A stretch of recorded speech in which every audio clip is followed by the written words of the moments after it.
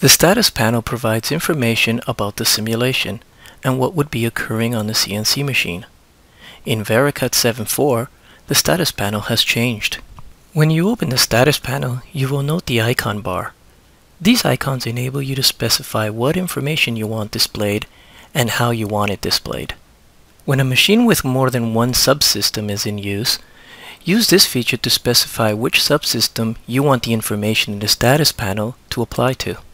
Click on the Set Group Visibility icon to display a menu which enables you to specify which information groups you want displayed in the status panel. You can select any combination of groups to be displayed in the status panel. You can also change the order of the information groups displayed by dragging the group to a desired location. When you right-click in a program group, a window displays enabling you to specify features that you want displayed in that program group.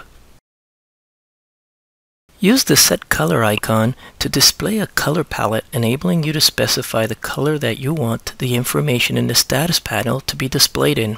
Like other dockable panels, the status can be docked vertically or horizontally. The Tile Groups icon enables you to toggle between a horizontal and vertical display. Notice that two sliders are added to the icon bar. These sliders enable you to adjust the width of the program and tool columns. The sliders are only available when the status window is in horizontal orientation.